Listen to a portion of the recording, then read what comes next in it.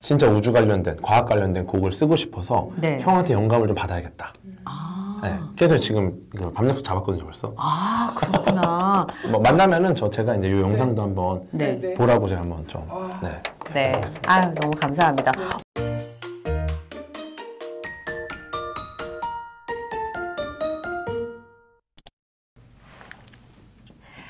앵커리의 똑TV 시청자 여러분 안녕하십니까. 아마 보신 분들 깜짝 놀라실 것 같은데 최애의 최애를 모셨습니다.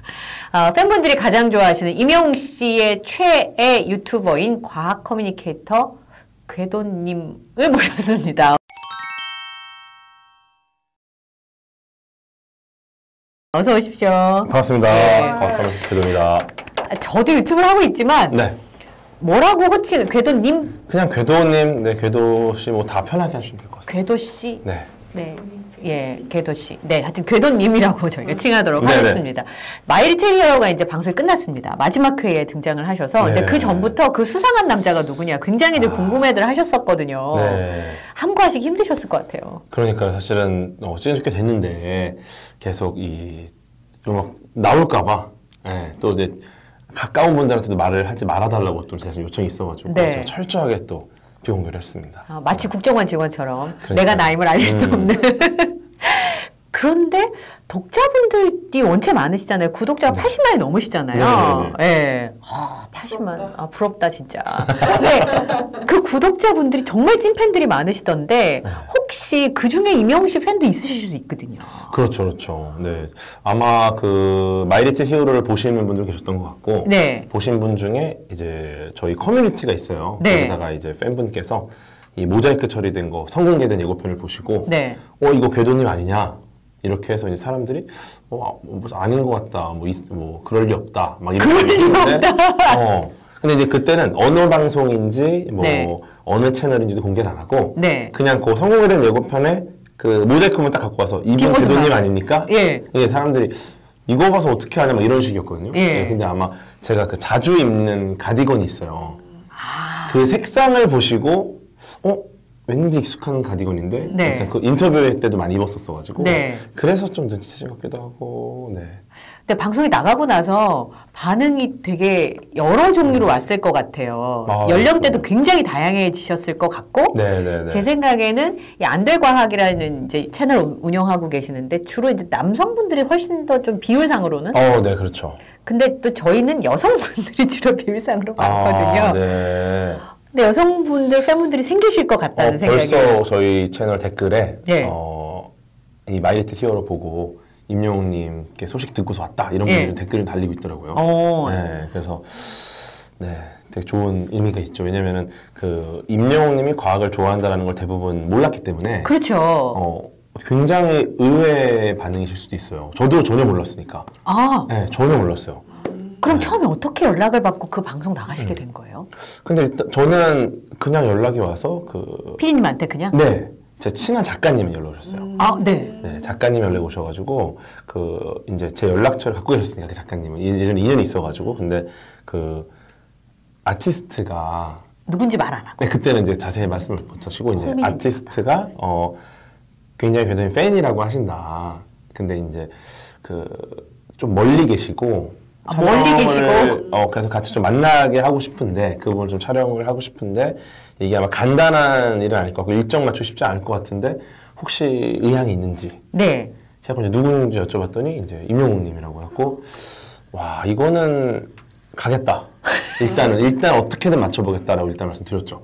예, 왜냐면은 뭐 저희 부모님도 뭐 제 주변 분들도 굉장히 많이 좋아하시고 그럼 그 전에 이명 씨에 대한 여러 가지 정보가 충분히 있으셨던 상황이시죠? 저는 일단 노래는 굉장히 많이 들었고 그분이 나오는 방송도 꽤 봤고 나오셔서 그냥 제가 알고 있던 이미지는 정말 건실하고 바른 뮤지션. 음. 네, 그리고 너무 노래를 잘하는.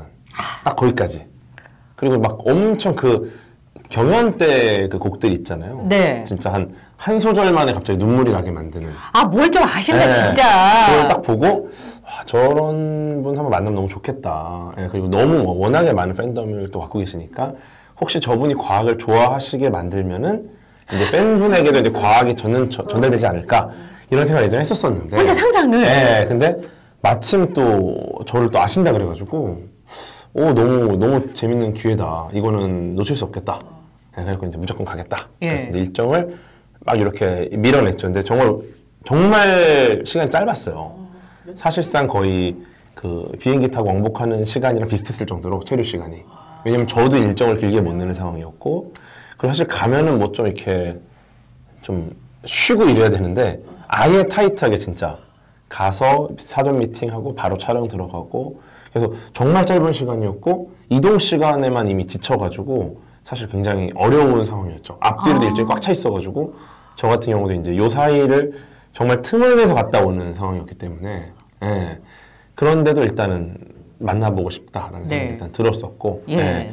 그래서 정말 그렇게 해서 아마 임영웅님이 과학을 좋아하게만 하면 이제 제 꿈이 이제 결국 과학 대중화니까. 맞아요. 그러니까 네, 많은 분들이 궤도님이 거기 나가신 이유가 이명 씨를 보겠다, 만나겠다. 네. 팬이니까 그것도 있겠지만, 그것도 있지만 네. 이명 씨가 과학을 좋아한다는 게 만천하에 알려지는 순간 음. 혹시나 과학을 조금 좋아하고 있으면 더 좋아하게 만들겠다. 아, 그 포부가 네, 있었어요. 완전 끌어들이겠다 과학적으로. 네. 네. 과학 없이 살 수 없게 만들겠다. 그런 생각이 있었거든요. 네, 그래서 꼭 만나서 과학이 얼마나 재밌는지 알려줘야겠다. 왜냐면은 그냥 하는 얘기인 줄 알았어 처음에. 왜냐면은 그 임영웅님이 엄청 바쁘시잖아요. 일정이 진짜요? 정말 바쁘고 네. 그리고 어, 정말 성실한 친구예요. 그래서 그, 그 LA에서도 보면은 틈날 때마다 조깅하더라고. 요 관리한다고. 네. 네. 네. 분명히 저거 쉬어야 되는데 그때도 나와서 운동하고 있고. 그러니까 자기 관리를 너무 철저히 하는 친구라서 정말 바쁜 친구인데 과학을 즐길 틈이 없을 텐데 어, 저렇게 지금 스케줄도 바쁘고 일정도 바쁘고 정말 왜냐면 주변에 굉장히 많은 거를 요구하실 거잖아요. 그러면 이거를 맞추려면 시간이 없을 텐데 과학을 좋아할 시간이 있다고? 그 저는 그냥 그 작가님이 어, 어쩌다가 이제 막 나온 얘기 중에 뭐 하나가 있어서 한번 엮어보겠다라는 식인 줄 알았어 처음에. 아, 아, 좋아해요. 과학 좋아해요. 네. 약간 그런 약간, 느낌일 거라고 네. 생각하고, 이제, 그래도 이명 씨가 과학을 조금이라도 좋아하면, 그렇죠. 과학의 대중화에 크게 기여할 거라고 네. 생각을 하고, 그 스케줄, 사실은요, 저희도 그 스케줄 이렇게 비집고 들어온 거거든요. 음. 하루에 촬영이 막 네다섯 개씩 되시니까 굉장히 바쁘신 분인데, 어쨌든 LA까지 날아가신 거잖아요. 그렇죠, 그렇죠. 그리고 이제 그 뭐 뮤지션 분들이 연락이 많이 오시긴 하세요. 어. 네, 근데 그렇게 이제 뮤지션 분들의 일상에 이제 과학을 집어넣어서 뭔가 과학을 즐기게 하는 것도 굉장히 의미가 있는 일인데, 그렇죠. 뭐 정말 과학을 좋아하는 뮤지션이라면은 이분은 어, 정말 진정성 있게 뭔가를 상호작용을 하면은 음. 이분의 음악 세계에도 좀 영향을 줄 수 있지 않을까 막 이런 생각도 막 했고 어, 그러니까요. 근데, 그래서. 네, 근데 거기까지는 어렵지 않을까라는 생각을 일단은 했죠. 왜냐면 네. 네, 딱 들었을 때는 그냥 아, 수많은 옵션 중에 과학을 하나 조금 호감이 있는 정도겠다. 근데 그 정도가 아닌 것 같은데요. 이명 그렇죠. 씨가 그렇게 음. 화난 얼굴로 누군가를 축구 아닌 다음에야. 맞아요. 네, 메, 저는 메시 형님 만난 표정인 줄 알았어요. 아, 그, 궤도님 보고 표정이 네. 그거는 궤도님 영상을 거의 안 빼고 봤다는 거 아니에요? 이게 정말로 그 전 제작진이 정말 대단한 게 일단 영상도 약간 OTT 같은 느낌으로 정말 잘 만들지 않았어요? 뭔가, 네. 뭔가 되게 그 영상미도 장난이 아닌데 이분들이 진정 진정성 있는 걸 되게 중요시하세요. 진짜. 그래가지고 철저하게 저를 완전 비밀로 했었어요. 실제로. 네, 아예 아예. 정말 아예 몰랐어요. 이- 네. 이- 어, 이 영웅님이 이걸 아예 모르셨고 대신에 이제 그날 저녁 때 오늘 뭐 게스트가 한 명 있다더라 정도를 귀띔을 들은 거예요. 근데 이제 이, 이 친구가 사실은 힘들잖아요. 또 누가 오는 것 자체가 아마 이 전체 이 다큐의 호스트로서 부담이 될 수 있어요. 이 친구도 약간 피로도가 있었을 텐데 그래서 아마 게스트가 썩 달갑지만은 않았을 수도 있을 것 같아요. 네, 그런데 일단 누가 왔다 이제 가봐라 정도만 알고 있고 이 친구도 아마 그 지인 중에 누군가가 왔다고 생각했을 것 같아요. 예. 그래서 막 예측하기로는 그 영탁이 형이 오지 않았을까 이렇게 생각을 했다 그러더라고 나중에. 아 본인이. 네네네. 그래서 영탁이 아무래도 영탁이 형이 아무래도 조금 이렇게 재밌으니까 제작진이 이렇게 초청을 하지 않았을까. 이렇게 또 상호작용이 또 잘하잖아요 두 분이. 그래갖고 그랬는데 이제 여기까지 와서 딱 그 요 요만큼을 봤는데 너무 영상을 많이 봐서 바로 알아봤대요. 그래갖고 요만큼을 보자마자 어 해가지고 그때부터 사실 제가 제가 그 이쪽으로 돌았거든요. 영상이 안 나는데 이쪽에 있고 카메라가 이쪽에 있어서 이, 이렇게 돌았는데 근데 이렇게 돌면 얼굴을 바로 봤어요. 이렇게 돌았기 때문에 얼굴 못 봤어요. 아, 예. 이렇게 돌았어요. 네, 예, 그쵸, 그쵸, 그쵸. 근데 이쪽을 보고서, 어, 어, 누군지를 이미 안 거예요. 그래서 너무 좋아하시면서, 지- 그러면서 이제 그 뒤로 그, 그 식사 자리에서도 정말 길게 얘기했습니다. 사실은. 예. 그리고 사실은 그 전날 제작진하고 사전 미팅 때도 이미 과학 얘기를 몇 시간 해가지고. 아니 어제 인스타 라방이 있었어요. 아. 마이 리틀 히어로가 네네네. 끝나고 나서 임영웅 씨가 자기 옷방에서 갑자기 인스타그램을 켰어요. 아, 안경 끼고.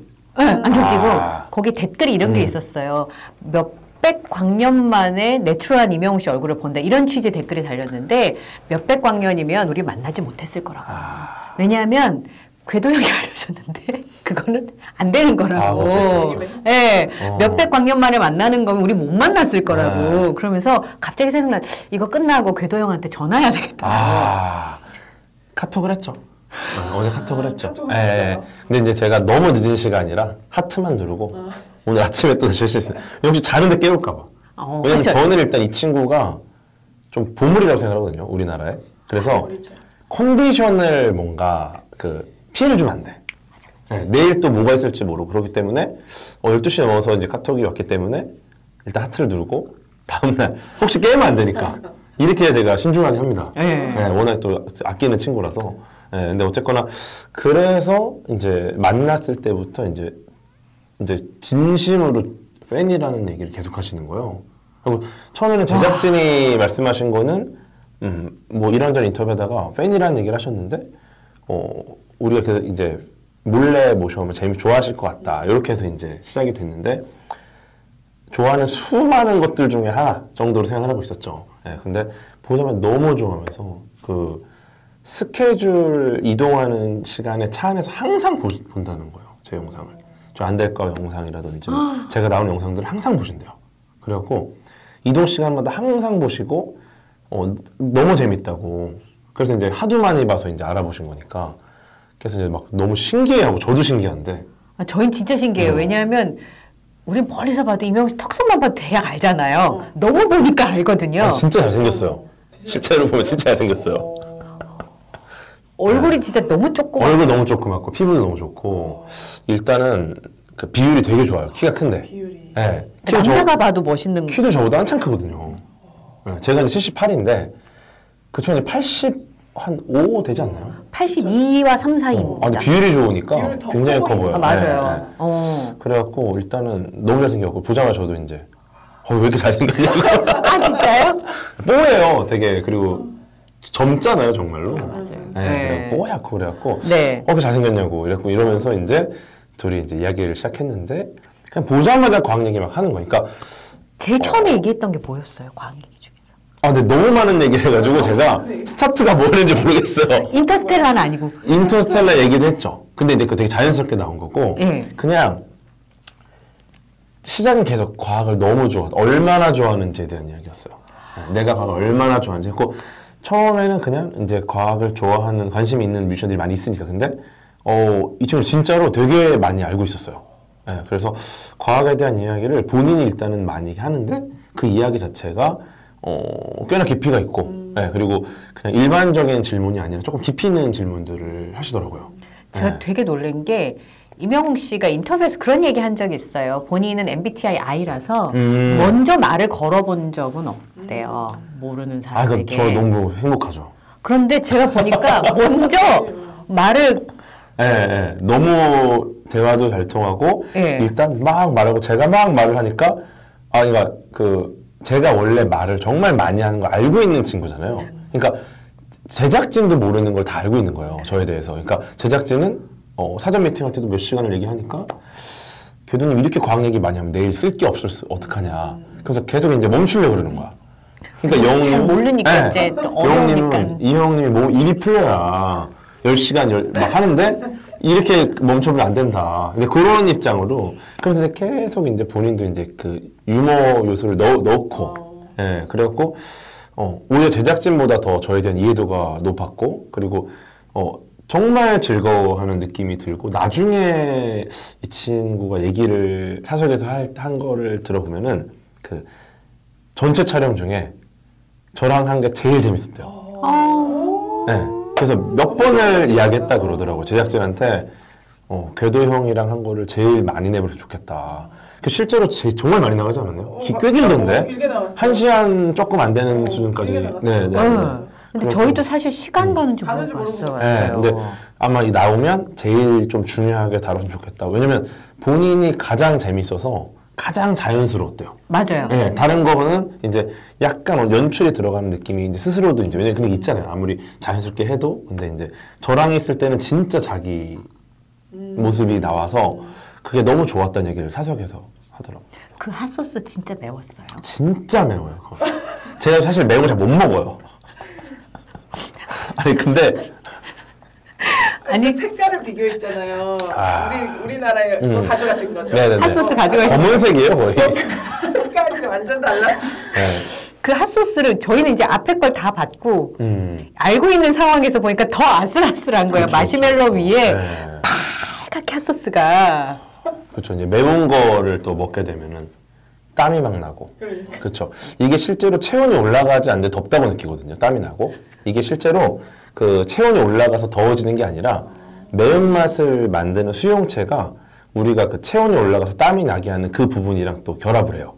그래갖고 어 먹는데 지금 분명히 체온이 올라가지 않았는데 더운 것처럼 느끼고 땀이 나는 게 매운 걸 먹으면 그렇습니다. 아, 체온 안 올라가요? 실제로 체온이 올라가지 않아요. 네. 더워지는 것 같은데. 더운 것 같은 느낌이 땀 들어요. 흘리잖아요. 네. 이 반대 개념이 이제 분명히 차가운 게 아니고 체온이 떨어지지 않는데 춥다고 느끼는 것들이 또 있죠. 반대로. 어. 네.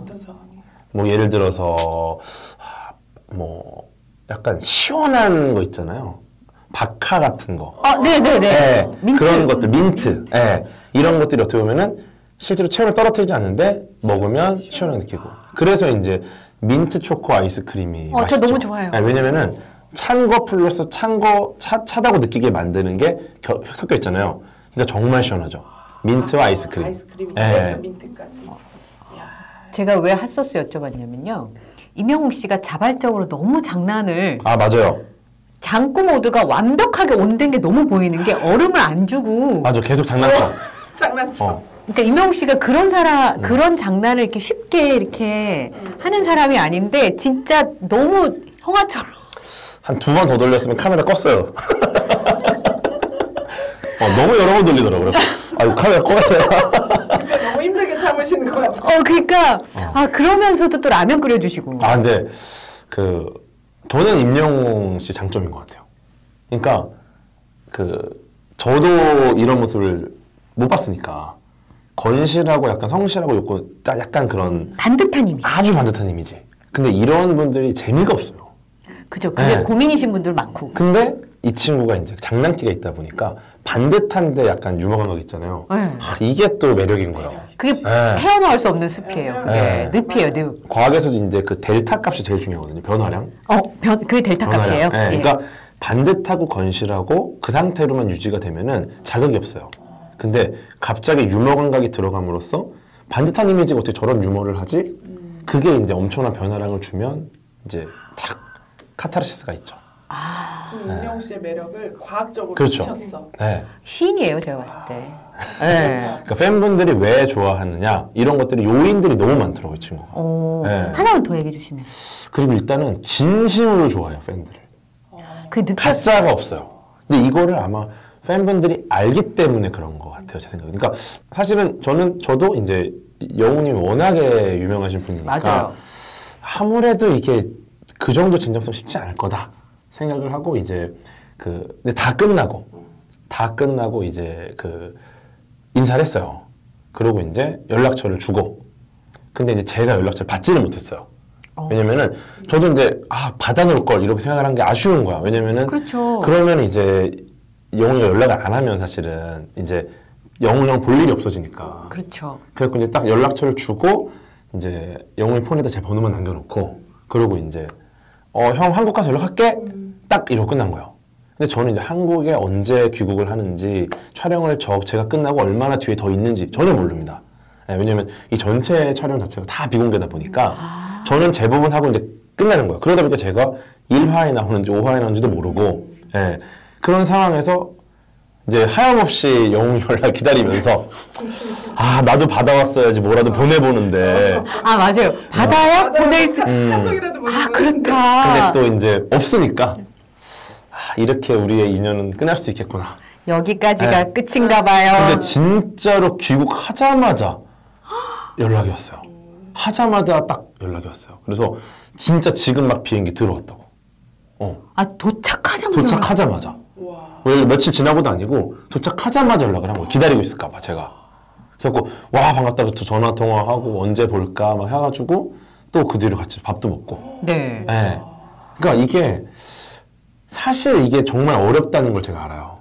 네. 많이. 만나보셨으니까. 정말 어려워요. 정말 어려워요. 그 유명하신 분일수록 어려워요. 왜냐면 본인 스케줄을 본인이 혼자 못 결정해요. 그렇죠. 네, 워낙에 많은 게 엮여 있어서 내 개인 일정을 하나 빼는 게 되게 어렵거든요. 네. 근데 그 상황에서 이제 어쨌거나 본인이 개인적인 연락을 바로 하고 이제 개인적인 스케줄을 잡는 거 자체가 아 이거 보고 와 이 친구는 진짜 나한테 했던 말이 그럼 다 진짜구나. 제가 되게 놀랬던 게 궤도님께서 그 올드카 그 트럭이죠 그게 그 볼보러 가실 때 네네네. 타셨던 차가 근데 그 차 안에서 그랬잖아요 좋은 사람이라고 음. 임영웅 씨가 좋은 사람인 걸 알아보신 거잖아요 근데 저한테 전화 통화하셨을 때 궤도님께서 뭐라고 하셨냐면 좋은 사람인지 이미 난 알고 있었는데 음. 만나보니 훨씬 더 맞아요, 좋은 맞아요. 사람이더라 그냥 제가 보는 그 카메라 안에서의 그 TV 화면 안에서의 모습은 건실하고 좋은 청년, 굉장히 바른 청년. 그리고 딱 거기까지였는데 어 만나 보니까 진짜 깜짝 놀랐어요. 와이 친구 진짜 대단한데. 네. 음, 그 스탭들 챙기는 거 보고도 많이 감동하신 것 아, 네네네. 같더라고요 그거는 진짜 왜냐면은 이것도 어려워요. 이게 유명해질수록 어려워요. 어려워요. 네. 유명해질수록 이게 나한테 초점이 맞춰지지 주변 사람한테 초점이 잘 안 갑니다. 그냥 내가 빨리 뭘 하고 그냥 내가 빨리 쉬어야 되고 막 이런 거 중요한데 와 이 친구는 그냥 촬영하는 내내 식사 하셨어요? 식사 안 하신 것 같은데 이- 하셨어요? 이거를 스태프분들 식사를 다 챙겨 했나 안 했나 안 하신 것 같은데 이거 안 하셨어요? 이, 이, 이, 이거 이거 뭐 빨리 좀 빨리 드시라고 뭐 주문하시라고 이러면서 그러니까 그게 사실 어려워요. 그리고 기본적으로 그 약간 유명세 대비 본인의 유명세에 대한 약간 그 자부심이 굉장히 그 그러니까 자부심은 있으나 대한 약간 권위의식은 거의 없어요. 멋진 말이네요. 네, 자부심은 네. 있어야죠. 자부심은 있어요. 근데 그거에 대한 권위의식이 없, 없고 어, 내가 뭐 엄청 특별한 사람이다라는 게 없으니까 모두가 특별한 사람이라는 게 있고 어, 근데 그 중에서 제가 되게 특별한 존재잖아. 네. 얼마나 기분 좋습니까? 어, 그러니까요. 너무 기쁜 거죠. 너무 좋 너무 어. 좋으셨을 거예요. 너무 좋았어요, 진짜. 이명웅 씨가 우주 덕후라는 건 네. 팬분들은 다 아시는 얘기인데 처음에는 그냥 우주를 좋아하나 보다 그냥 그렇게 음. 생각했거든요. 그러니까 별 얘기도 자주 하고 음. 우주 얘기도 자주 하고 하니까 그런데 어, 작년에 공개된 영상에 보면 본인이 이제 우주 비행사 아, 네네네네. 예. 그 얘기도 했었어요. 예, 그러면서 이제 네. 작사도 하고 작곡도 하니까 그런 곡을 음, 만들고 음, 싶다는 맞아요, 얘기를 맞아요. 했었는데 네. 제가 교도님은 여쭤보고 싶은 건 우주 비행사 좋아요. 그 노래가 될 수 있을까요? 무조건 되죠. 아, 무조건 돼요. 저 네. 진짜 궤도님의 의견을 여쭤보고 싶었던 거예요. 안 돼도 임영웅이 하면 돼요. 제가 생각 그래요. 부연 설명이 좀 필요합니다. 어, 아마, 근데 모르겠어요. 이게 어떤 감성을 할지 모르겠는데, 네. 그런 딱 명사, 우주 비행사, 예. 라는 곡은 제가 볼 때는 아마 더 좋은 선택지가 있을 거다. 아, 제 생각에는. 네. 왜냐면은 저- 저는 이 음악이라는 건 좀 생각을 더 하게 만들어야 되거든요. 그렇죠. 그럼 대상이 명확하면은 음. 사실은 너무 정해진 답으로 노래가 갈 것 같아요. 음. 근데 그 임영웅님 노래는 사실은 되게 많은 생각을 하게 해요. 몇 소절을 들어도 이제 이 노래 속에 있는 의미가 아니라 자기 경험에 대한 생각을 하게 돼요. 보면은. 아. 네, 그게 되게 장점이라고 생각을 해요. 네. 어떤 노래를 하던 그 노래를 들으면 내 경험에 대한 생각을 하게 되고 아, 노래 들으면 네, 나를 네, 돌아보게 그쵸. 한다. 내 생각을 하게 돼요. 이 노래에 대해서. 그러면 음. 사실 우주 비행사라는 걸 내 경험이랑 연결해 주는 사람이 많지 않기 때문에 네. 아마 우주 비행사라는 내용을 바탕으로 뭐 제목을 바탕으로 노래를 쓰는 것보다는 약간 우주 비행사로부터 우리가 얻을 수 있는 그런 어, 아름다운 느낌 혹은 뭐 공허한 느낌 그런 고독한 느낌 이런 거를 바탕으로 아. 곡을 쓴다고 하면은 굉장히 아름다운 곡이 나올 수 있을 거라 아, 생각합니다. 고독한 느낌? 아름다운 느낌을 가지고 네. 우주를 가지고. 사실 이런 거를 제가 좀 도와주고 싶어요. 실제로 우주 비행사에 대한 곡에 대한 얘기를 사석에서 한번 했었고 같이. 네. 네. 그리고 이제 최근에도 연락이 온 게 그 진짜 우주 관련된 과학 관련된 곡을 쓰고 싶어서 네. 형한테 영감을 좀 받아야겠다. 아. 네. 그래서 지금 밤약속 잡았거든요 벌써. 아, 그렇구나. 왜냐하면 모래알갱이가 사막인, 사막과 음. 관련된 나태주 시인님의 시를 어. 영감을 받아 썼다고 했는데, 사막의 모래와 우주의 별이 되게 통하는 음. 것 같은 거예요. 아. 근데 아까 왜, 나도 특별한데, 당신도 특별하다라는 태도를 가지고 있다고 그쵸, 그쵸. 하셨는데, 우주라고 하는 게 사람을 가장 겸손하게 만드는 그럼요. 매개체인 것 같아요. 팬들을 별, 이 음. 별빛이라고 네. 부르고 본인은 그 별빛을 이, 그 아우르는 음. 우주가 더 큰 우주가 되고 싶다. 그것도 너무 멋있는 것 같아. 네. 그 천문학을 아시는 분의 입장에서 그게 어떤 느낌이에요? 느낌적인 느낌이 다르잖아요. 뭐 이해는 다 똑같이 하겠지만. 딱그 임영웅이라는 사람의 가치관을 보여주는 문장인 것 같아요. 그 가치관을 보여준다. 네, 네, 네. 예. 왜냐면 이제 뭐 단순히 이제 내가 뭐 주인공이고 나를 중심으로 모든 사람들이 나를 이제 스포트라이트를 받고 있는 나를 보고 있고 이런 가치관이 아니라 전부 상대적인 거죠. 상대적인 네, 거다. 네. 그래서 어떻게 보면은 어, 태양계에 있는 우리는 이제 태양이 가장 밝고 굉장히 멀리 있는 별들을 보고 있잖아요. 근데 그 별들 중에 있는 어떤 행성에서는 그 별이 가장 밝고 태양이 하나의 별일 겁니다. 멀리서 오는. 네, 그렇죠. 그러니까 어디서 우리가 보든지 우리는 굉장히 상대적인 빛을 보고 있는 거거든요. 네. 네. 그런 측면에서 봤을 때 어떤 부분에 대해서는 내가 주인공일 수 있지만 어떤 부분에 대해서는 이제 팬분들은 누군가가 주인공일 수 있는 거고 아마 그런 거를 좀 표현하는 많이. 것 같아요. 예. 네, 네, 네.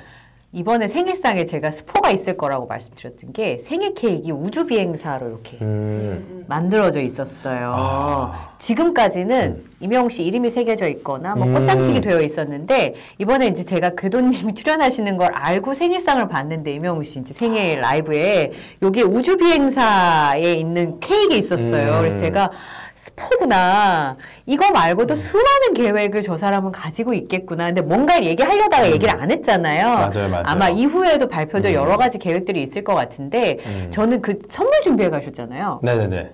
전 쌍안경이 그 별 보는 쌍안경인지 몰랐습니다. 사실은 쌍안경 자체가 별 보는 쌍안경은 아니고, 네. 예, 그 이제 저도 이제 관측 쪽이 전문이 아니다 보니까 네. 이제 저는 위성 궤도 쪽이잖아요. 아, 그래도. 네, 또 저희 채널에 같이 활동하고 있는 항성님이라고 네. 이제 이분 이제 관측 쪽 이시고. 하셨어요. 예, 네. 그래서 이제 물어봤죠. 관측하려면은 이제 사실은 일반적인 망원경은 오히려 다루기가 힘들어요. 어. 예, 이게 또 지구가 계속 자전하고 있기 때문에 네. 그 트래킹하는 장비가 있어서 지구의 자전 속도에 맞춰서 조금씩 옮겨주지 않으면은 바로 놓칩니다. 아. 예. 그러다 보니까 이거를 좀 다루기에는 좀 시간도 좀 걸리고 네. 어, 조금 더 전문적으로 들어가야 돼요. 안 네. 그러면은 볼 수 있는 게 별로 없어요. 예. 그래서 아 이거보다는 차라리 조금 그 잡광이 좀 없는 데서 딱 하면은 이제 어느 정도까지는 잘 보이는 또 시야가 넓기 때문에 꽤 좀 시원합니다 보기가. 어. 네.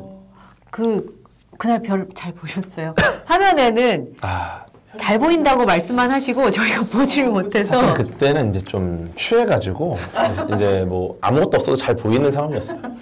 네, 그냥 가만히 있어도 별이 보이는 상황이었었고 그때 너무 많이 마셔가지고 즐거우셨다니. 아 아쉬워요. 그러니까 뒷부분에 너무 취해서 네. 좀 많이 날아갔을 거예요 아마. 아, 그러면 훨씬 길었던 걸로 알고 있는데. 그 쌍안경을 보고 나서 다음 날로 넘어간 것 같아.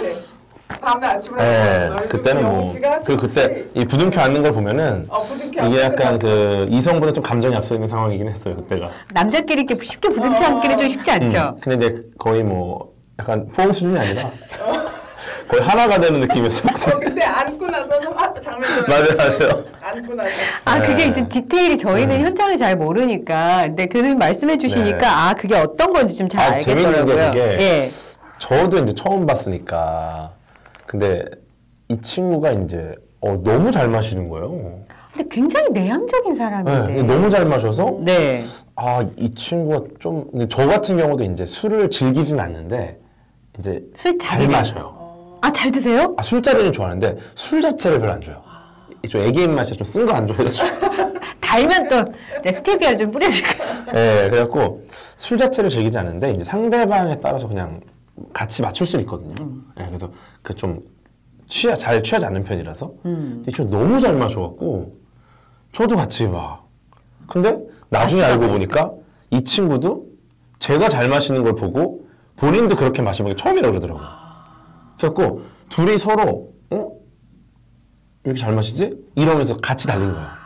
그러다 보니까 생각보다 빨리 취해가지고 네 저도 아마 역대 가장 많이 마셨던 것 같아요. 음. 네, 그날 어떤 거 드셨는지 위스키. 위스키. 네. 아 맞아요 라방에서도 요즘에 영웅 씨가 저기 네, 위스키 맞아요, 좋아한다고 맞아요. 얘기했잖아요. 네. 그렇게 예. 세지 않아요? 세죠 세죠 도수가 높죠. 근데 깔끔하다고. 음. 그럼 지금은 형이라고 아, 네, 그럼요, 그럼요.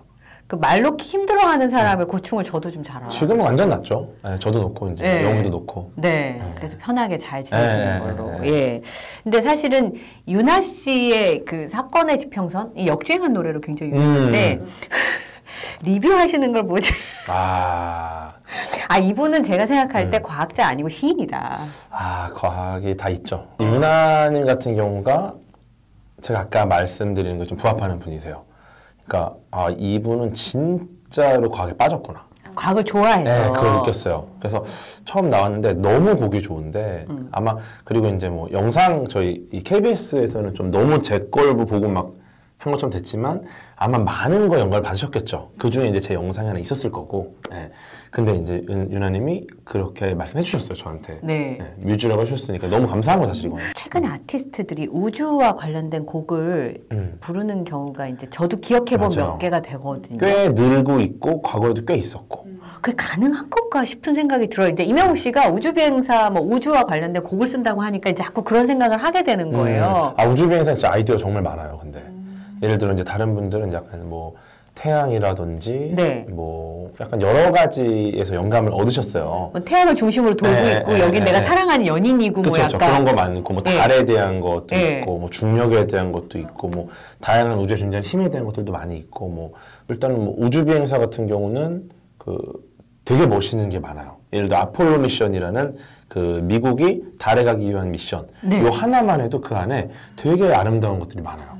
예를 들어서 최초로 달에 착륙한 사람 혹시 누군지 아시나요? 암스트롱 그죠? 아니에요? 닐 암스트롱. 네. 이게 아폴로 11호 때거든요. 네, 루이 암스트롱이 할 뻔했어요 지금 내가 아 제가요. 어, 이때 그 닐 암스트롱 말고 두 명이 더 갔어요. 근데 이때 닐 암스트롱이 이제 캡틴이었고 여기 이제 버즈 올드린이라는 분, 네. 마이클 콜린스라는 분이 있었어요. 어. 근데 이 세 분이 같이 아폴로 10을 탑승을 했어요. 셋이 같이 탈 수밖에 없는 게 그 두 명은 내려가요. 근데 내려갔다가 이제 달에서 지구로 바로 오는 게 아니라 모선이 하나가 나, 한 명이 남아야 돼요. 그래서 모선이 가서 착륙선을 내리고 예. 이 모선은 계속 달을 돌아요. 그러다 착륙선의 윗부분 모듈만 점프를 딱 뛰면 모선이 잡아다가 지구를 귀환합니다. 아. 이렇게 하지 않으면은 달에서 지구까지 올리면 다시 발사를 해야 되잖아요. 네. 보통 일이 아니에요. 그래서 모선과 착륙선 사이에 착륙선 모듈만 올라와서 잡아서 이제 지구를 귀하는 형태라. 어, 그 네. 저 남편이 저 내려주고 이렇게 막 돌다가 저 태워가고 그렇죠, 그렇죠. 네. 그래서 원래는 이 그 경험으로 봤을 때는 뭐 예를 들어서 제일 캡틴이었던 암스트롱이 먼저 내리고 그 다음에 이제 좀 경험이 있고 좀 연배가 있는 마이클 콜린스가 내리고 버즈 올드린이 원래 모선에 남아야 되는데 이 순서상으로 근데 버즈 올드린보다 경험이 마이클 콜린스가 많아서 운전 실력이 좋아요. 그래서 마이클 콜린스가 남아요. 그리고 이제 버즈 올드린이랑 그 닐 암스트롱이 내려갔죠. 그러니까 이게 얼마나 슬픈 거냐면은 놀이공원 갔는데 닐 암스트롱 입장하고 이제 버즈 올드린 입장하고 마이클 콜린스 주차장에서 기다리는 거예요. 그리고 잘 놀고 뭐 불꽃놀이까지 다 보고 나오면 그때 태워서 집으로 오는 거죠. 어머 얼마나 불쌍해. 마이클 콜린스. 짝사랑이랑 비슷한 것 같은데요. 네. 약간 왜 친구의 친구를 사랑했는데 뭐 약간 이런. 이걸 보면은 뭐 닐 암스트롱에 대한 이야기, 버즈에 대한 이야기도 많이 있지만 이 마이클 콜린스가 사진을 찍어요. 그 지구와 달과 착륙선이 내려가고 있는 사진을 찍거든요. 네. 근데 이 사진을 이 사진을 딱 보면 그 어떤 생각이 드세요? 그뭐 생각이 안들것 같아요. 어, 어, 지구를 찍은 사진이구나. 네. 달을 찍은 사진이구나. 착륙선 내려가는 걸 찍은 거구나. 근데 이제 이런 얘기가 있어요. 그, 그 사진 한 장에는 그 이미 태어나서 죽은 인류, 지금 살아있는 인류, 앞으로 태어날 모든 인류가 전부 담긴 가족 사진이다.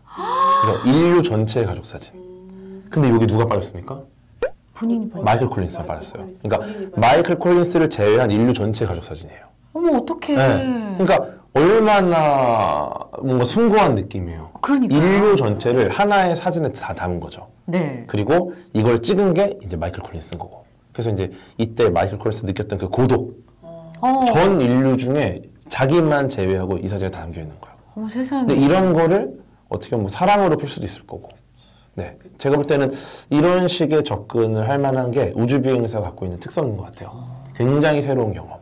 네. 근데 이명웅 씨가 머리가 되게 좋은 사람인 것 같다고 생각했던 게 음. 운동도 특히 팀 운동은 그 머리가 좋은 사람이 잘하잖아요. 아, 그럼요, 그럼요. 스포츠도. 그럼요. 그런데 네. 음악을 하는 사람은 또 이제 수학을 잘한다 그러더라고요. 근데 아. 과학도 좋아하는 걸 봐서는 아 궤도님이 보기에도 음. 굉장히 머리가 좋은 사람이겠구나 맞아요. 생각했겠다 그런 생각이 좀 들더라고요. 그렇죠. 예. 사실은 뭐 중요한 거는 그 과학적 사고력이거든요. 내가 지금 알고 있는 것들을 토대로 새로운 걸 만들어낼 수 있는 능력, 그리고 인과관계를 명확하게 하는 능력들. 그거 되게 어렵잖아요. 이런 게 어떻게 보면 사실은 훨씬 더 지금 중요한 그 두뇌의 활동인 것 같아요. 네. 근데 그런 걸로 봤을 때는 영웅님은 굉장히 뛰어난 것 같다. 왜냐면 과학을 좋아하는 사람은 과학적 사고력이 좋을 수밖에 없어요. 네.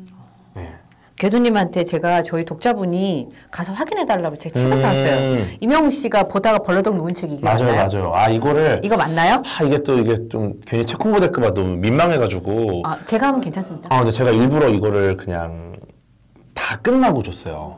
저녁 식사 다 끝나고 제가 이제 가는 길에 이거랑 근데 뭐 약간 뭐 이, 이것도 이제 저희가 만든 굿즈인데 어머! 이게 오펜하이머거든요. 아, 오펜하이머. 네, 약간 그 보석구름이군요. 네, 해- 버섯구름이고 이제 중절모 쓴 오펜하이머 모습이랑 비슷하게 만든. 아, 두 가지가 다 네. 느껴지게 되는, 어머! 그래서 이제 뭐 이런 것들을 이제 뭐 과학 관련된 거 몇 가지 이렇게 해갖고 뭐 텀블러 같은 걸 해가지고 이제 선물로 이제 줬는데 아 갑자기 막 아 이거 이거는 선물인데 너무 고마운데 이거 찍어야 된다고 막 이래갖고 방송 나온 거예요. 어머! 좀 민망해가지고 되게 민망해하는 상황이었어요 그때는. 예. 그 책도 이제 그냥 한번 읽었으면 좋겠다 해서 이제 사인을 해갖고 이제 제가 네. 살짝 줬는데 갑자기 이제 철수하고 있는 제작진들 가서 어 잠깐만 이거 찍어야 된다고. 어머, 세상에 네. 찐이다. 그래갖고 이제 민망해서 그런데 이제 그걸 또 해가지고 이제 어쨌든. 나온 거예요. 그러고 나서 이제 끝났는데 다음날 이걸 또 들고 왔어. 그래갖고 이걸 가지고 계속 들고 다니면서 계속 읽는 거야. 진짜 찐이다. 예. 하, 그래갖고 고맙기도 하고, 예, 그래가지고. 아, 너무 감동적인. 감동적이다. 아, 너무 그쵸. 감동. 그래서 제가 사심으로 집에 사인 받도록 하겠습니다. 아, 그럼요. 이따 해드리겠습니다. 네, 그래서 제가 음. 요거를 확인해보고 물어보시더라고요. 이 책이 맞는지. 네. 그래서 우리 팬분들이 얼마나 대단하시냐면 사람을 이해하는 최고 좋은 방법은 사랑하는 거잖아요. 한 카트 지나가도 찾아요. 그러니까.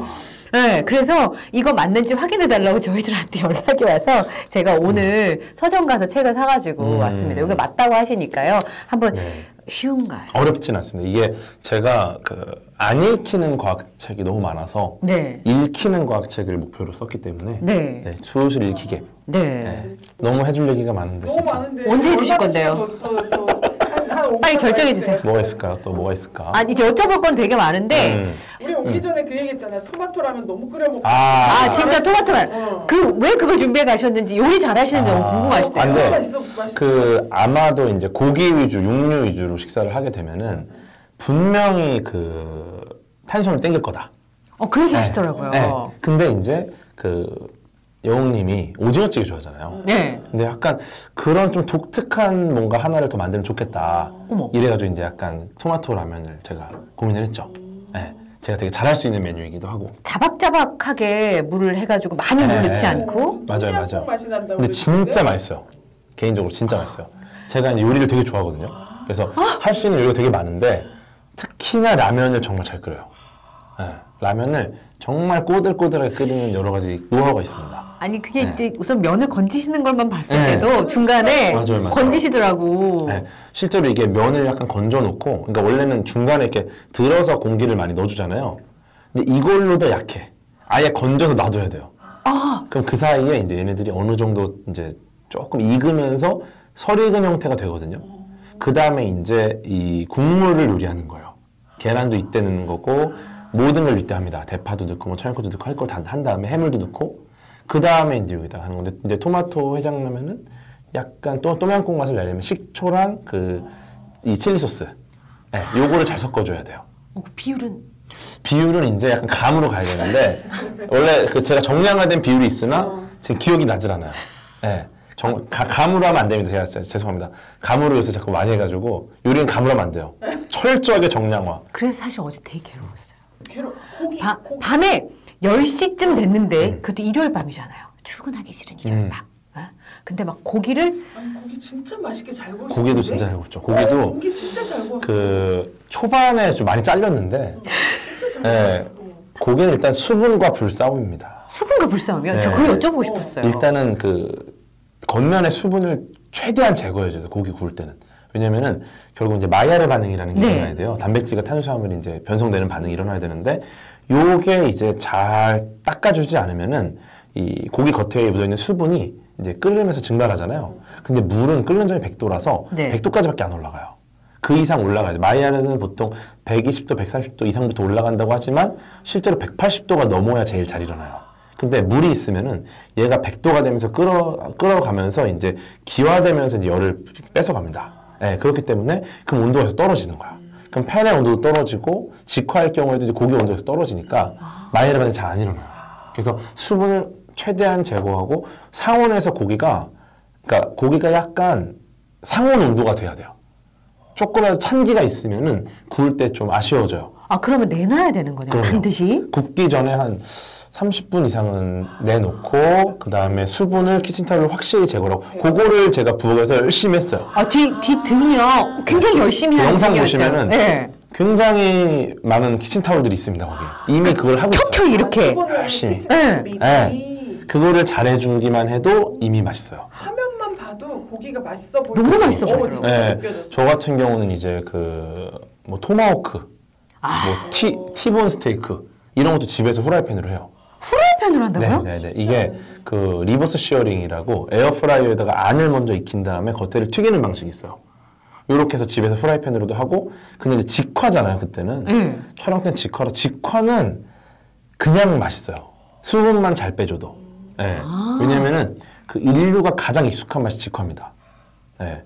우리가 고기를 구워 먹었을 때 가장 먼저 했던 방식이 직화이기 때문에 아 그렇겠네요.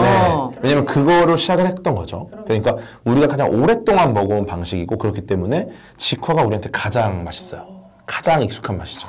네. 그러니까 영- 임영 씨가 너무 맛 그게 진짜 근데 너무 진짜 어, 맛있어 요. 진짜 그때 찐 이것도 딱 느껴지는 거야 막 스태프분들 하나씩 다 맞아요 맞아요 그것도 깜짝 너무 놀랐어. 이쁘더라고. 왜냐면 이게 이거 드셔보셔야 돼요. 이거 왜냐면 이건 지금밖에 못 먹거든. 그쵸? 지금 먹어야 되거든요. 맞아요. 근데 보통 그렇게 음. 생각을 안 하잖아 주변 아우 내 입에 들어가도 바쁜데 뭐나 나- 먹을게요. 나 먹기 누가 바쁜데. 이렇게 다 챙겨 그래갖고 이제 거기서 진짜 다 많이 드셨거든요.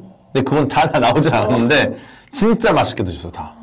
너무 맛있게 잘 굽기도 했고 아 그거는 진짜 거기서밖에 못 먹어요. 어, 제가 봤을 때 힘들었어. 그 풍경과 그 사람들과 그 약간 설레는 분위기. 크, 약간 오늘 이게 촬영 중이기도 하면서도 어, 이게 이게 또 편안하면서도 조금 어색하면서도 약간 긴장감도 어, 있잖아. 긴장감도 있고 이게 언제 끝날까 아쉬움을 또 갖고 있으면서도 아, 이런 게 다 섞여 있는 분위기라서 그때가 제일 그때는 재현하기 힘들죠 이제는 오. 네. 이제는 같이 고기 구워 먹으러 가도 그때 느낌은 재현하기 힘들죠 약간 썸 타는 느낌 나요. 썸 타는 관계의 썸이지. 이거는 또 제가 이제 몰매가질 수 있어가지고 여러분 이 임영웅은 영웅 시대를 가장 사랑합니다 아왜 이명웅 씨가 궤도님 좋아하는지 알것 음. 같아요. 아 그래요 예. 그러니까 그 사람에 대한 이해가 되게 충분해서 제가 되게 감동적이었던 장면이 뭐냐면 이명웅 씨한테 고민이 많겠다고 먼저 말을 걸어줬을 때. 아, 저런 형아가 옆에 음. 있어주면 참 좋겠다. 왜냐하면 이명웅 씨도 아티스트로서의 고민도 있을 것이고, 33살 청년으로 고민이 있을 텐데, 음. 맞아요, 맞아요. 그러니까 이명웅 씨가 고맙다 그러잖아요. 아. 자기한테 그런 말을 해줘서 네. 고맙다고. 저는 그 대화가 음. 아 저런 대화가 좀 많으면 좋겠다라는 생각을 음. 여러모로 했거든요. 저는 생각보다 너무 안정돼 있으니까 걱정이 좀 됐어요, 사실은. 이미 네, 너무 완벽한 사람- 친구다 보니까 네 맞아요. 아, 이런 친구들이 조금 속으로 이제 굉장히 더 고민 많이 하거든요. 오히려 모든 사람한테 뭐 친절하게 항상 상냥하고 이런 친구들이 속으로 그만큼 본인이 되게 많이 짊어지고 있어요. 걱정이 얼마나 많겠어요. 본인이 모든 거를 다 해결해야 네, 되니까. 본인이 모든 걸 다 끌고 가야 되는 상황이잖아요 지금. 네. 근데 물론 다 의지할 분들도 있고 좋은 분들 되게 많고 저도 이제 그 나오시는 분들 뭐 매니저, 실장님 뭐 다 헤어 메이크업 해주신 분도 이제 저도 해주셨으니까 다 아는 거야 이제 얼굴을. 네. 그래갖고 이제 반갑더라고요 이제 방송 보는데 근데 의지할 분들이 많이 있긴 한데 그래도. 그래도 본인이 부담이 클 수밖에 없어요. 근데 이제 30대 초반이잖아요. 그러니까 저는 이 친구가 속으로 좀 너무 짊어진 게 많겠다. 예. 그리고 제가 그 나이 때는 그런 거 전혀 안 짊어졌거든요. 맞아요. 저는 그날 때 그냥 그냥 공부만 했고 그냥 그냥 우주 좋아했고 막 이랬으니까 그냥 공부만 하는 노벨상 받아야겠다 막 이러고 그냥 혼자 그랬었는데 하, 그래서 이제 걱정이 돼가지고 그냥 저는 이게 나갈 줄은 몰랐어요 솔직히 왜냐면은 그 차 타고 가면서 하는 얘기가 분명히 뭐 카메라도 몇 개 없고 그래서 뭐 몇 컷 들어갈 거로 생각했죠 근데 가는 기간이 좀 있으니까 이때 나는 이 친구랑 얘기를 많이 해야겠다 그래갖고 이제 이런저런 얘기를 했고 에, 뭐, 뭐 실제로 되게 많은 이야기가 잘리긴 했는데 저는 저 그것도 그냥 잘릴 줄 알았는데 근데 되게 또 멋있게 넣어주셨더라고요. 저도 이제 멋있게 한 말은 아니고 그냥 이 친구 혹시 그럴까? 저도 그런 스타일이라 약간 저도 이제 혼자 끙끙 많이 하고 그래서 몸이 자꾸 아파요. 예. 근데 진짜 최근에 뭔가를 조금 전환이 있었던 것 같아요. 된 것 같아요. 뭔지는 네. 모르지만. 네네네. 네. 그래서 너무 좋았고 그 시기를 지나고 나서 그 이야기를 둘이 할 수 있었다는 것 자체가 저도 굉장히 좋았고. 음, 그런 네. 고민을 했었지. 그런데 지금은 네. 긍정적인 에너지로. 바꿀 수 네. 있게 되었다. 왜냐면 불안한 감정 같은 경우가 부정적인 거잖아요. 네. 근데 되게 재밌는 게 그 우리가 뭔가 성장할 때는 약간 부정적인 것들이 있어요. 음. 예를 들어서 내가 두 가지 선택지가 있어요. 그때 이쪽으로 가면은 좀 편안해.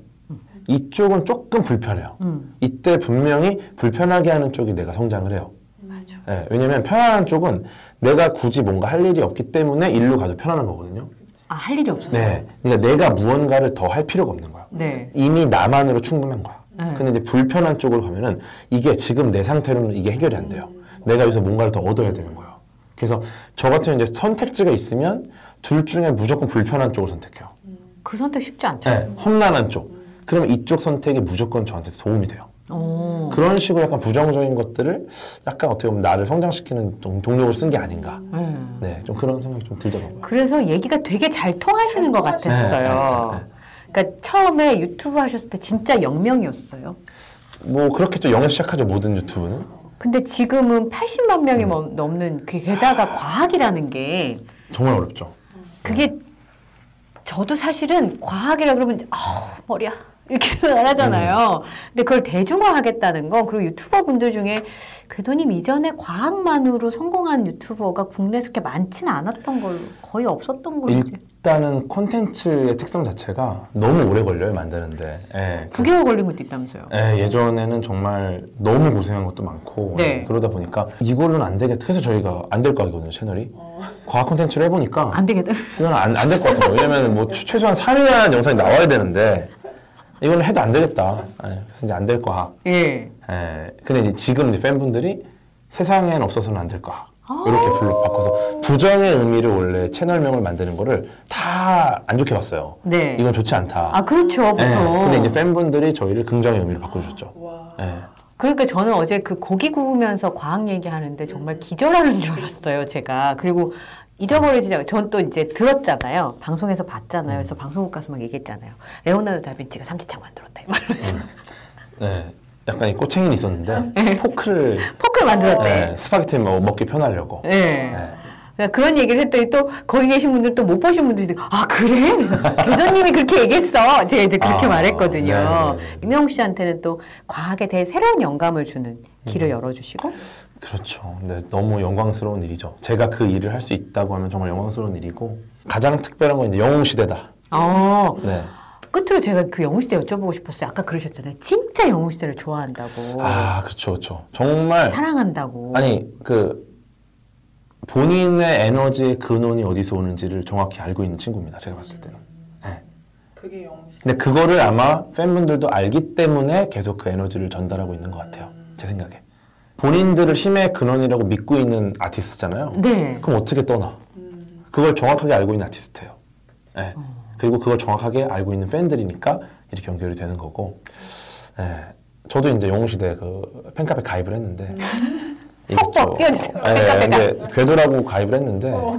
이 글을 못 읽더라고요. 아, 네, 그렇습니다. 좀 오래 걸립니다. 그러니까. 어, 네. 네, 좀 이렇게 운영자님 보시면은 좀 등업 좀 해주세요. 궁금해가지고 궁금해서 한번 들어가. 제 얘기가 좀 있, 있길래 아, 있죠.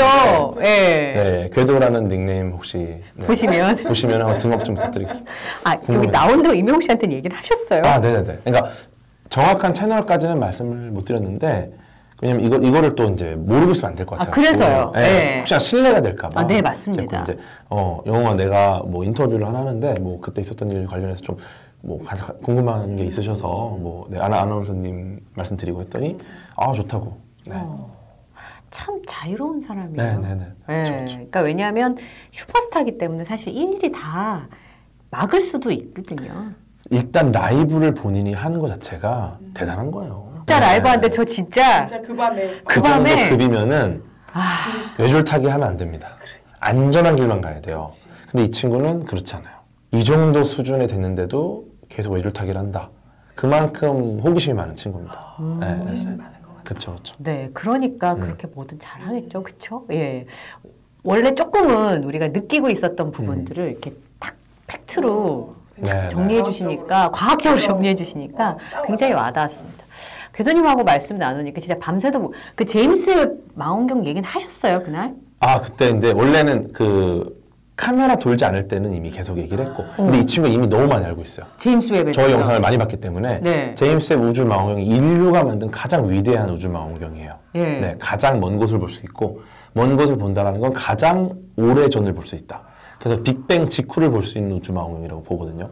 네, 사실 빅뱅부터 시작해야죠. 138억 년 전부터 역사학자분들이 아무리 과거로 가도 예, 뭐 빅뱅까지는 3천 년전 이렇게 가거든요. 아, 그 정도야? 저는 이제 한 100억 년 전으로 가기 때문에.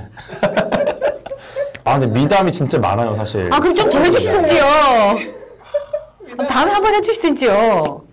믿어. 미담만. 아 이거 하나만 해야겠다. 아, 이거 어디 하나만. 아, 아니 진짜 많은데 아, 너무 미담 얘기를 안 한 것 같아서. 아니 미담을 듣고 싶었는데 저희가 모르잖아요. 아 일단은 그 이 친구가 진짜 의리가 있어요. 정말 의리가 있어요. 오, 네. 그걸 느낀 게 그 시축한 거 아시죠? 네. 네. 저희 다 갔었어요. 아, 아 그랬어요? 네. 상암 월드컵 경기장에서. 맞죠. 네, 근데 그날 그 상암에서 제 지인 결혼식이 있었어요. 예. 네. 근데 이제 그 지인 결혼식이 막 이미 전에서 난리가 난 거예요. 임용 씨 추가로 온다. 아. 그러니까 막 주차부터 막 난리가 나가지고. 근데 진짜 되게 이른 시간부터 사람들이 너무 많은 거예요. 그 역 근처에. 네. 어, 그래서. 와 대단하다 이거 진짜 이러고 있는데 아무튼 결혼식이 잘 끝났어요. 잘 끝나고 이제 저는 뭐 밥도 다 먹고 어 슬슬 집에 가야지 이러고 있는데 갑자기 전화 온 거야. 하고 형 형 어디야 이렇게 연락이 와. 어디요? 그래갖고 제가 어 왜? 그러니까 근데 얘가 이제 시축하는데 시축만 하는 게 아니라 공연을 하더라고요. 아, 했었어요. 그러니까 얼마나 준비할 게 많아요. 아이돌 댄스를 응. 했다니까요. 근데 이 친구 갑자기 전화가 와서 자기가 지금 대기실인데 결혼식장이 보인다는 거예요. 그래서 형 아직 결혼식이냐고. 그래서 나 아직 결혼식장 있지? 그러니까 이제 여기 어디 뭐 하얀색 커튼 같은 게 있는데 네, 맞아요. 이쪽이 보인대요 자기가 예. 대기실에서. 그래서 형 혹시 커튼 보이냐고. 제가 근데 딱 그 전화를 하는데 바로 옆에 커튼이 있는 거예요. 내가 뭐 하고 커튼 딱 이러는데 거기 임명이? 계단에서 위에서 어? 어머! 그 경호하시는 분들 한 두 분하고 같이 근데 거기 내려온 거야. 어. 결혼식장 어디인가 해가지고 세상에. 깜짝 놀래갖고 제가 일단 커튼 닫고 야, 니 여기 어떡해. 큰일 난다. 여기 사람도 엄청 많다. 근데 형 왔다 그래서 얼굴 보러 왔대. 들린 거예요 결혼식장을 그러면? 예. 그냥 제가 있다는 것만으로 지인이 있다는 것만으로 그걸 감수합니다. 이게 저는 아, 이게 진짜 대단한 의리다. 예. 솔직히 이렇게 할 수 있는 사람이 없어요 아무도.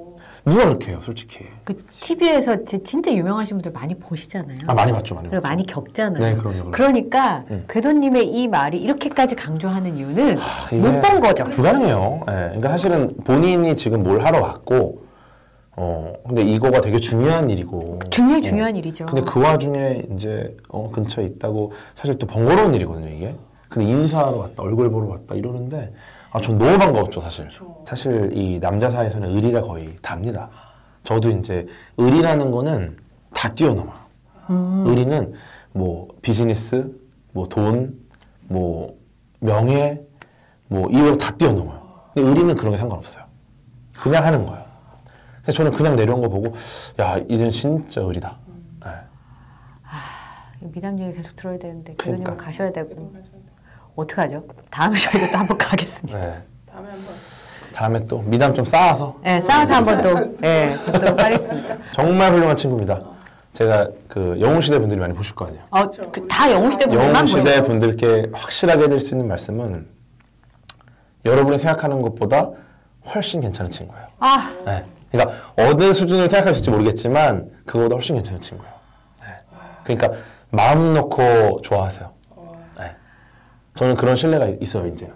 네. 그 임영웅 씨 팬들이 제일 많이 하는 말 중에 하나가 와 내가 살면서 잘한 선택 중 하나가 임영웅을 내가 좋아하는 아. 아. 티스트로 선정한 거다. 아 그것도 멋있다. 어. 그분들의 삶이 되게 풍요롭겠죠. 응. 엄청 네, 행복해졌죠. 그러니까. 예. 아, 얼마나 멋있어요. 네. 나도 행복하고 어, 나의 존재만으로 다른 사람 행복하게 한다. 그러니까. 아, 저랑 비슷하죠. 과학이라는 것만으로도 행복해질 수 있습니다. 어. 그래서 앞으로 임영웅과 과학을 좋아해 주세요. 조금 더 풍요로워지는 거죠. 아, 그럼요. 네, 왜냐면 어차피 그럼요. 임영웅 님도 과학을 좋아해요. 그러니까. 함께 맞아. 가는 거죠, 함께. 맞아. 우리가 함께 가려면 같이 좋아해야 돼요. 맞아. 자, 오늘 최애의 최애 궤도님과 함께 정말 즐거운 시간을 보냈는데요. 진짜 바쁘신데 제가 정말 어, 이- 너무 간청 드려가지고 음. 또 이렇게 나와주셔서 너무 감사드리고요. 또 다음에 또 들을 기회가 있었으면 참 좋겠습니다. 하, 영웅이가 이거 보고 또 형 너무 오바했다고 뭘 할 수도 있어. 그 전에 빨리 업로드해야지. 네, 아, 걱정되는데. 예. 뭐 만나면은 저 제가 이제 이 영상도 한번 네. 네. 보라고 제가 한번 좀. 아. 네. 네. 아유, 너무 감사합니다. 오늘 진짜 비 오는데 비를 뚫고, 음. 네, 시간을 뚫고 와주신 궤도님께 다시 한번 감사드리고요. 오늘 함께 해 주셔서 고맙습니다. 고맙습니다.